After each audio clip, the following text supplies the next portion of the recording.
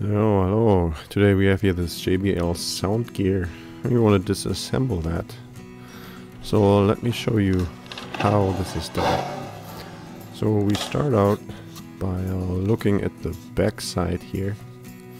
You know you have this horseshoe kind of shape and so you're going to look here in the back area and you first you're going to lift off here this fabric part you lift that off of the bottom. That's uh, held in place with some uh, clips like some hooks in the from the fabric part here. And you have to detach all those hooks all around. And then you can just lift it off. It takes a while to get all those hooks out. And let me show you a little bit more detail about how these uh, hooks look like. You can see here, you can tell here they are all over the place. So here, a little bit close up. And then uh, two of those hooks are actually uh, glued in place. You, those uh, are not going to be able to be detached that easily. Those are those two hooks are like located towards the also towards the um, end here towards the back side. Here, let me point this out. Here, this hook it actually broke off on this side. So I had a really hard time getting that off. And then here, this hook was also glued in place in that one. I was able to detach. Here, on the uh, on this part here, you can see how it broke off up there. But it's not a big deal. There's so many hooks in there that will it will be able to be uh, assembled again without a problem. So then here we're going to uh, look at the further parts here. You can see there's a lot of screws up here that hold this plastic piece here in place. And uh, there's this metal plate, also a lot of screws in there. And here the second side, the left side, also has a ton of screws. You can also see here the speakers and the uh, the buttons. Alright, so uh, let's take those pieces off. So uh, I'm going to not I'm not going to bore you with uh, unscrewing this, showing you how I'm screwing this. This takes a while. Right, and then as soon as this is done, so far I've only removed all the screws from the plastic pieces, not here the 10 pieces, uh, 10 screws of this metal plate. The metal plate actually gives a lot of stability to the whole device here. And there's like 10 screws that hold the metal plate in place. And there's three different types of screws. So uh, you want to make sure to remember which type of screw goes where. Alright, so then let's, let's open up here this left side. Once you have all the screws removed, this is really easy. You just take it off. And there is not a whole lot in here. Look at that.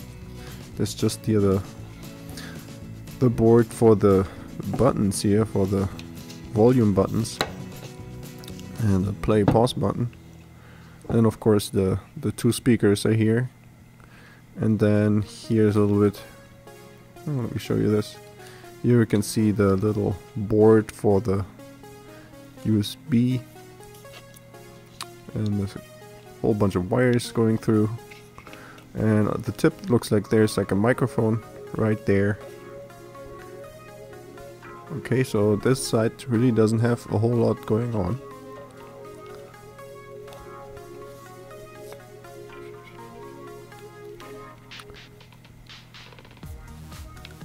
-huh. Alright, and then here, short look onto the USB port, the charging port in case you have to replace that. That should be really easy to remove. There's just two screws, you take that off and then you can replace or fix your uh, charging port. And then here you have the the vent tube here that goes out here to the back. That comes all the way from the front and goes then to the back. Okay, then okay, look. Let's look, look take a look at the right side. There's actually another screw here that I missed by the on-off button. It's a really tiny screw. This has to be removed too. And then we open this part up and Okay, so there's a whole lot more going on in here.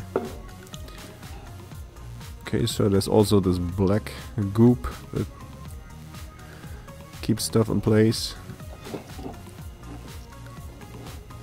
Alright, so what do we have here?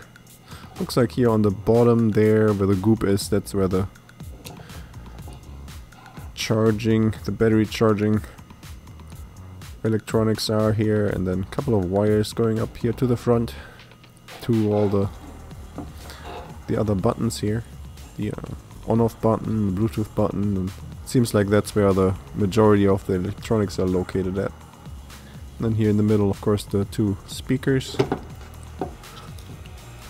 And then let's have a look at the batteries here. What do we have? We have two batteries. Looks like these are lipo batteries and what what are they? Like 400 milliamps. Okay. And then let's have a quick look here. There's a label with some more detail. So if you want to if you want to look at that a little further then maybe just rewind and uh, pause the video at that point. Let's see here. Let's get try to get a little bit better close up here for you in case you want to read that Okay, so and that's that's already it. This is the whole JBL Soundgear. So let's see if I can uh, get this back together without a problem. and it actually is possible to reassemble this without even being able to notice that this was ever taken apart again. So this is really easy. Alright, and then let's see if this thing still works. I'm going to turn this back on and then play a little tune here. And so uh, if you have any questions and uh, or comments, then leave a note down in the comment section below. And uh, please like and subscribe. And uh, also check out my other JBL videos.